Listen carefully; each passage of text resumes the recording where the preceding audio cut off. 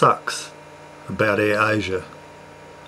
Now, I know there's always fine print when you buy a uh, cheap ticket and when you buy a cheap ticket and you want to reschedule it you do expect to pay fees and charges for that.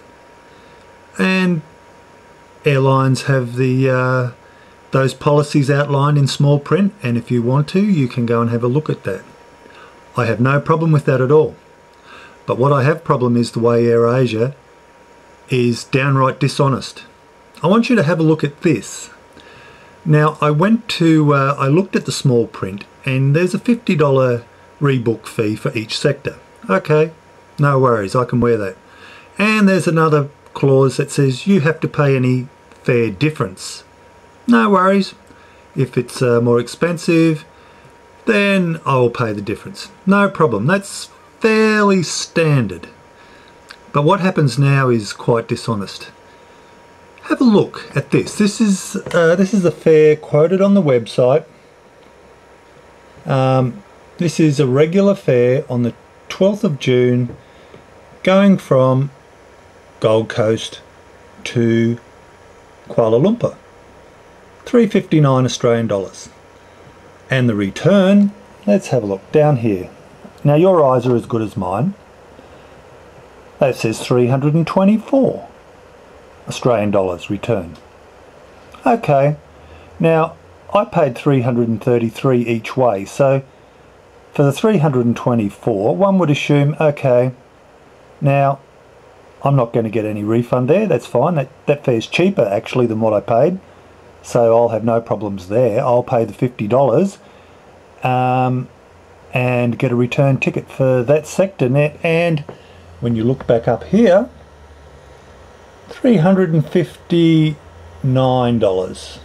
Okay, I paid 333 So I'm going to have to pay a bit because as the small print says, if you have to rebook, you have to pay any fare difference. Cool, no problem. I don't have a problem with that.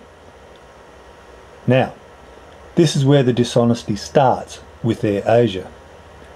You log on through the uh, what is it, the Manage My Booking site, and you have a little convenient link that allows you to rebook your flight. So, now I've already done this, so I'm going to click the tab and we'll have a look at what prices AirAsia throws up. For uh, this is the same day, have a look at this.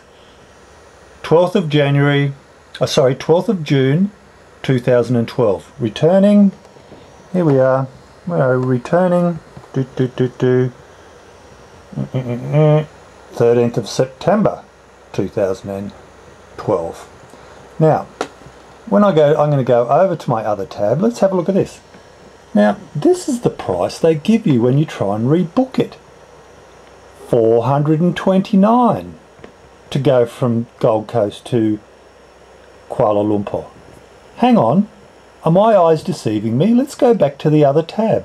Where is it? 359. Oh dear, let's go back here. 429. Now, that is dishonest. Let's have a look at the return. I'll just scroll up. Do, do, do, do. 394 to get from Kuala Lumpur back to the Gold Coast in Australia.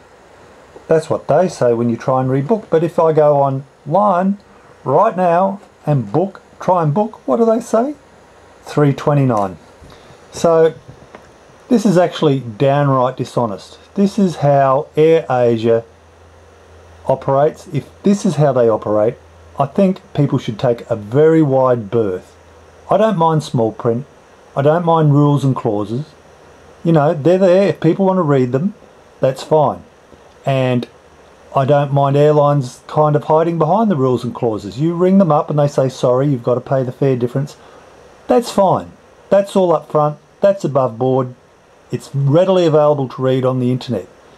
What they're doing here is, you don't know this until you go to rebook. You go to rebook and find that suddenly they have coded the website so that if I'm just going to book a flight as normal, I get one set of fares. If I then go and try and reschedule my flight, they're throwing up a different set of scares. That's actually been coded into the site. for mugs like you and I, who, uh, who so instead of the $50 fee, you're actually often up for a couple of hundred dollars extra, just through a bit of clever coding and, shall I say again, dishonesty. Air Asia, wake up, be a little bit more transparent. It's bullshit and you should know that.